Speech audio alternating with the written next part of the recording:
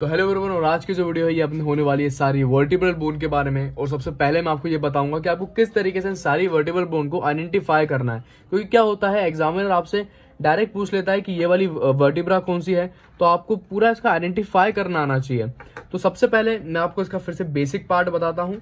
तो सबसे पहले टोटल अपना क्या होता है, अपनी बॉडी के अंदर सेवन सर्वाइकल वर्टिब्रा होती है देन फिर अपनी बारह थोरेसिक वर्टिब्रा होती है उसके अलावा पाँच अपनी लंबर वर्टिब्रा होती है और एक होता है सैक्रल और सैक्रल के नीचे, एक अपनी होती है यहाँ पे कॉक्सिक वर्टिब्रा तो अपन करते क्या है, अपन यहाँ पे नीचे से ऊपर की तरफ़ जाते हैं, ठीक है? तो सबसे पहले अगर मैं आपको बताऊँ, क्या होता है, अपने सबसे नीचे, अपनी प्रेजेंट रहती है सैक्रल वर्टिब्रा और सैक्रल वर्टिब्रा आप आराम से आइडेंटिफाई कर लोगे, कुछ इस तरीके की अपनी सेक्रल वर्टिब्रा होती है। सेक्रल वर्टिब्रा पे मैं पहले ही पूरे डिटेल में वीडियो बना चुका हूँ, उस वीडियो का लिंक आपको ऊपर आई बटन में मिल जाएगा। तो कभी आपसे अगर एग्जामिनर ये वर्टिब्रा के बारे में पूछे तो आप तुरंत बोल देना कि सर, ये सेक्रल वर्टिब्रा है। देन फिर अपन आ जाते हैं अपनी लंबर वर्टिब्रा पे।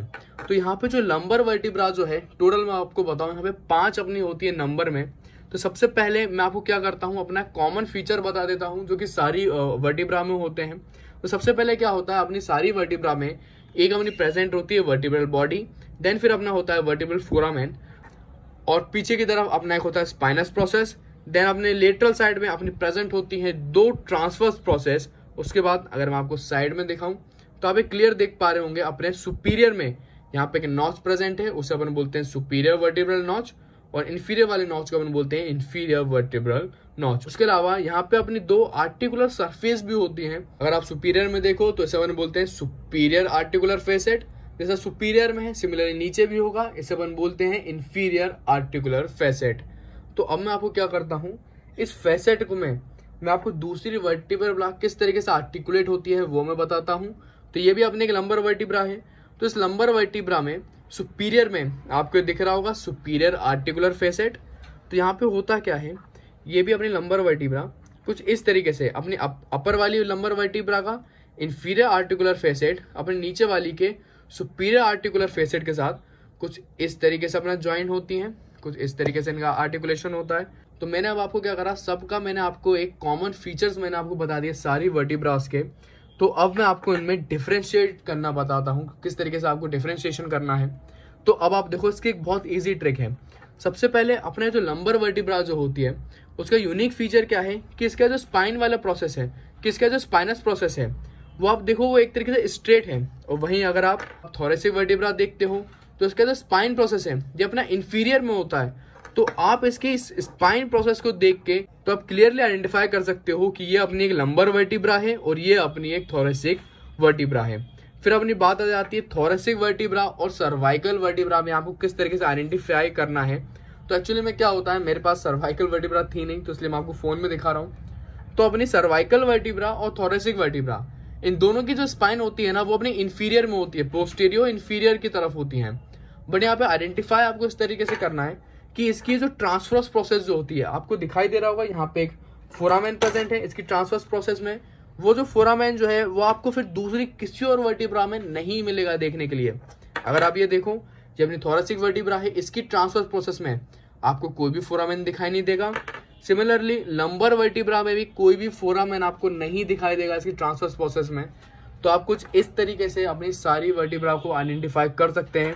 सबसे पहले आपको स्पाइन प्रोसेस देखना है, अपने लंबर वर्टिब्रा का थोड़ा होता है स्ट्रेट वहीं अगर अपन बात करें अपनी थोरेसिक और सर्वाइकल वर्टिब्रा का, अपना होता है पोस्टेरियो इन्फीरियरली और अपनी सर्वाइकल वर्टिब्रा जो कि सात होती है नंबर में, उन सातों सर्वाइकल वर्टिब्रा के ट्रांसफ़र प्रोसेस में अपना एक फोरामेन प्रेजेंट होता है, जो कि आपको यहाँ पे दिखाई दे रहा होगा।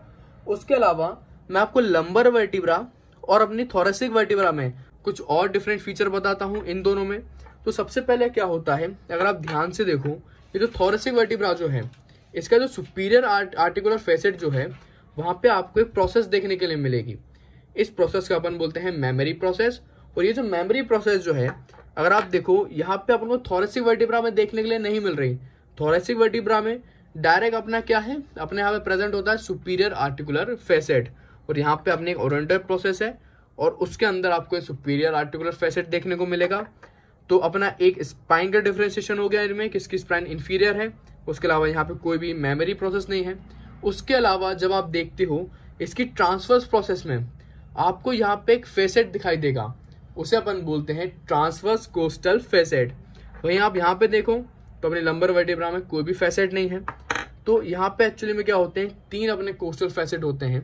एक ट्रांसवर्स कोस्टल फैसेट फिर यहाँ पे आप बॉडी में देखो बॉडी में दो देखने के लिए आपको मिलेंगे। सुपीरियर में सुपीरियर कोस्टल फेसेट और इन्फीरियर में इंफीरियर कोस्टल फैसेट तो यहाँ पे क्या होता है? तो ये जो है, ये मेरी एक टिपिकल रिब है।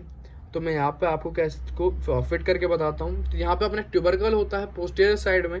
तो जो ट्यूबरकल जो है अपने रिब का, वो क्या करता है? इसकी ट्रांसफर्स कोस्टल फैसेट जो है, उसमें कुछ इस तरीके से अपना आर्टिकुलेट होता है। और यहाँ पे आप देख पा रहे हो, उसकी सुपीरियर और इन्फीरियर आर्टिकुलर फेसेट जो है वो अपने रिब के हेड के साथ इस तरीके से आर्टिकुलेशन बनाती हैं। तो यहाँ पे कुछ इस तरीके से आपको आर्टिकुलेशन देखने को मिलता है।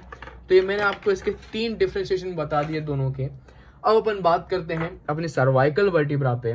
तो टोटल अपन जानते हैं टोटल अपनी बॉडी में होती है सात सर्वाइकल वर्टिब्रा उनमें से अपनी सी थ्री से लेकर सी सेवन तक सारी वर्टिब्रा एक जैसी होती हैं। सारी वर्टिब्रा सिमिलर होती हैं, कुछ इस तरीके की वो दिखाई देती हैं। बट अपनी सेकेंड और फ़र्स्ट वर्टिब्रा, वो जो है थोड़ी डिफरेंट होती हैं। लेकिन आपको उनका यूनिक फीचर आपको पता ही है कि इनके ट्रांसफ़र प्रोसेस में अपन को फोरामैन दिखाई देता है। मैं क्या करता हूँ, अब आपको अपनी सेकेंड वर्टिब्रा दिखाता हूँ। तो मैं आपको दिखाऊँ, आप ये देखिए। तो ये जो है ना, ये वाली तो ये जो है, ये अपनी है सेकेंड सर्वाइकल वर्टिब्रा अब सेकेंड सर्वाइकल वर्टिब्रा को आप किस तरीके से आइडेंटिफाई करोगे? सबसे पहले आप देख पा रहे हो, इसका जो ट्रांसफ़र प्रोसेस जो है, वहाँ पे आपको फोरामेन देखने को मिल रहा है। इसका मतलब ये अपनी एक सर्वाइकल वर्टिब्रा है।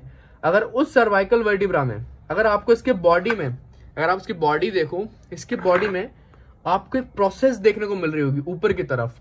उसको अपन बोलते हैं ओडोंट्रेट प्रोसेस मैं अगर आपको दूसरी पिक में और दिखाऊँ अच्छे से, आप ये देखिए, ये जो प्रोसेस आपको देखने को मिल रही है, अपने इसकी बॉडी से ऊपर की तरफ़ निकल रही है, उसे अपन बोलते हैं ओडोंट्रेट प्रोसेस और ये सिर्फ़ अपनी सी टू वर्टिब्रा में होती है। और ये जो ओडोंट्रेट प्रोसेस जो है, वो अपनी फ़र्स्ट वर्टिब्रा के साथ आर्टिकुलेट होती है। मैं अगर इसको दिखाऊँ कुछ इस तरीके से। तो ये अपने सेकंड सर्वाइकल वर्टिब्रा है और ये अपनी फ़र्स्ट सर्वाइकल वर्टिब्रा जो है, जिसको अपन एटलस भी बोलते हैं, उसके साथ कुछ इस तरीके से अपना आर्टिकुलेशन बनाती है। देन अब अपन देखते हैं इसकी फ़र्स्ट सर्वाइकल वर्टिब्रा जिसको अपन एटलस भी बोलते हैं। तो एटलस बहुत आराम से आप आइडेंटिफाई कर सकते हो। याद रखना एटलस ही अपनी बॉडी में ऐसी वर्टिब्रा है, जिसके पास बॉडी नहीं होती। तो आप क्लियरली देख पा रहे हो, अपनी एटलस जो है, इसमें अपनी बॉडी प्रेजेंट नहीं है। तो आप इस तरीके से आइडेंटिफाई कर सकते हो अपने एटलस को भी। और मेनली मैं आपको बताऊँ एग्जामिनर आपसे लंबर वर्टिब्रा उठवाता है। उसके अलावा अपनी सी वन और सी टू वर्टिब्रा वो आपसे जो है ना आइडेंटिफाई करने के लिए आपको दे सकते हैं। तो ये पूरा मैंने जो है आपको सारी वर्टिब्रा अच्छे से डिटेल में बता दी। वीडियो पसंद आई हो तो वीडियो को आप लाइक कर सकते हैं, अपने बैचमेंट में आप शेयर भी करना। उसके अलावा अपने सैक्रल वर्टिब्रा के ऊपर मैं सेपरेट वीडियो ऑलरेडी बना चुका हूँ। उस वीडियो का लिंक आपको ऊपर आई बटन पे मिल जाएगा। Thanks for watching and keep learning